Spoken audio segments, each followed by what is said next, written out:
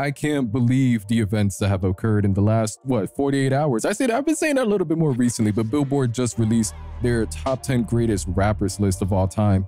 I nearly vomited. I had to hold myself down, get a drink of water, stare at the sun for a bit. That way I could fry my eyes from ever watching something as ridiculous as this. Billboard's top 10 greatest rappers of all time. Number one, Jay-Z, Hove. Number two, Kendrick Lamar, the GOAT, the one and only. Number three, Nas. Number four, Tupac. Number five, Eminem. Number six, Biggie. Seven, Lil Wayne, 8 Drake, 9 Snoop Dogg, 10 Nicki Minaj.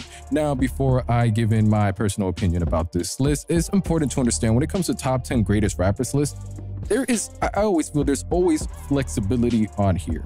Even if there's certain rappers I wouldn't add on my top 10, the rappers that are chosen could be ones that are just like, I could see why you chose them, or they're interchangeable with the rappers I would choose. So, for example, Nas and Tupac, those are two rappers that at times can crack my top 10 depending on like what kind of phase I'm in as far as my music and at times maybe even top 5. I could respect those. Now Snoop Dogg at a top 10 greatest rappers list? Fuck no.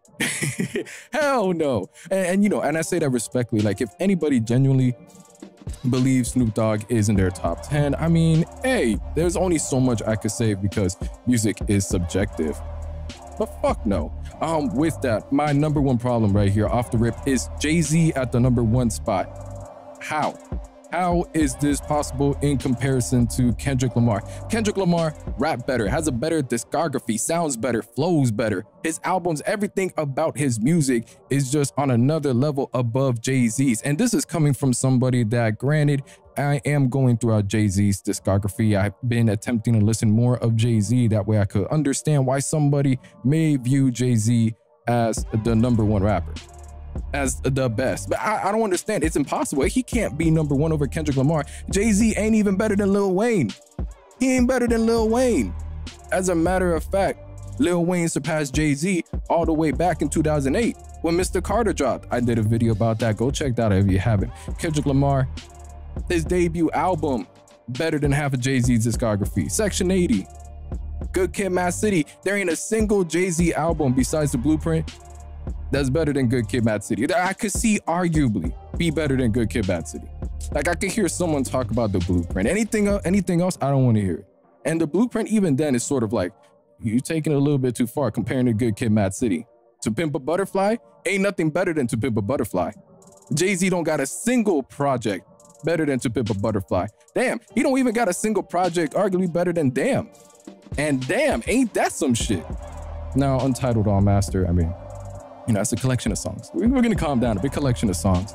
And I missed around the big steppers for free. Um, with that, of course, I'm citing mainly Kendrick Lamar albums because at the end of the day, it's Kendrick Lamar and the albums. And I don't, I know I'm not adding too much, too much substance behind that, but yo, anytime there is a top 10 greatest rappers list and number one isn't K Dot, if number one isn't the guy that was messing with Sherane, if number one isn't Kendrick Lamar, throw the whole list away throw the whole list away, wipe it from the table, delete it from the computer. Don't ever let that shit leave the USB drive. Don't ever go onto another TV screen.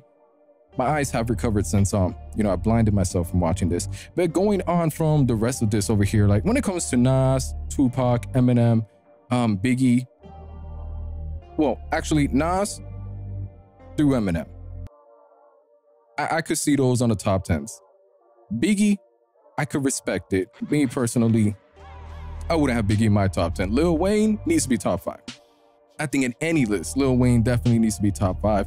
Uh, Drake, I've always, I've had this, this bit of conflict with Drake ever since the whole entire reference tracks leaking with if you're reading this is too late, the whole Quentin Miller situation. Because at the end of the day, if you're not even writing so if you're not even writing raps, we, we got to question it to a certain degree. It's something I've been in conflict with because Drake does rap, I mean, write for other rappers, whether it is Kanye West, whether it was Dr. Dre all the way back when he was just 19 years old.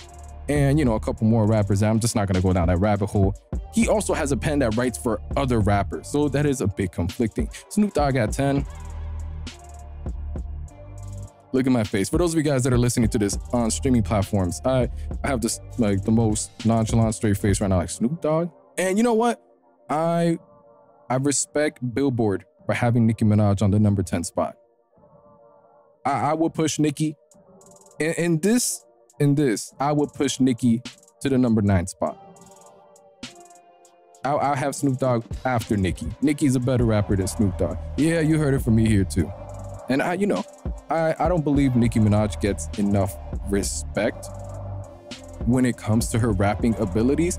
And I could also understand why, just because whenever it does comes to her albums, the way they're structured and the way they do have those pop elements into it, they, she doesn't exactly have instrumentals where whenever she does rap, it would give it that sort of ambience to be like, oh, she like, she rapping. Whenever we throw in those pop instrumental on there, it just makes it feel more melodic than it should be whenever they are bars. Now, what she might lack in some crazy double, triple entendres or even storytelling elements, she definitely carries when it comes to character, when it comes to animation, flows, impeccable high energy. And she does have those punchlines that she's learned from Lil Wayne, likewise what Drake has learned from Lil Wayne, and does have some funny, uncanny, at times aggressive, and at times just, you know, um, how, how, would I say, at times entertaining metaphors that they, they, they, they do the job. But with all of that pushed in together with the replayability of her music and the way she's been able to reach superstardom, make amazing sounding hits. Along with that, I would I would see why Nicki Minaj, as far as this list, with everybody here, should be at the number nine spot. Now, to take things a step further, is there anything I would change if I only had these people on my top 10 list? Anything I would change? Definitely. Kendrick, we going number one. And for the second spot, based on what we have here, I'm gonna go with Lil Wayne. Kendrick number one, Lil Wayne at number two. From there, I will put Eminem at the number three spot. Right after Eminem, I'm gonna have Nas, Tupac, Biggie. Actually, I take that back. I take that back. After, let's see, Kendrick, Lil Wayne, Eminem. You know, I might, I might, I take that back. I might have Drake in the top three.